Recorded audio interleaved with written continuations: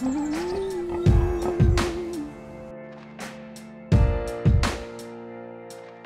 stars are looking out across the sky. I never could believe that I'd be living in a moment quiet like the one I'm James said he loves how thoughtful you are. He adores your positive energy and admires your optimism and your independence.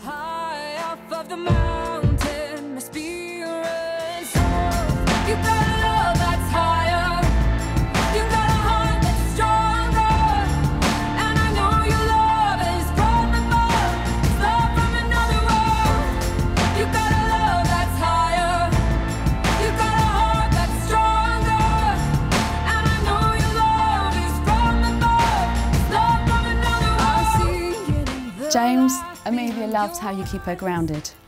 She admires your intelligence and your ability and willingness to turn her visions into reality.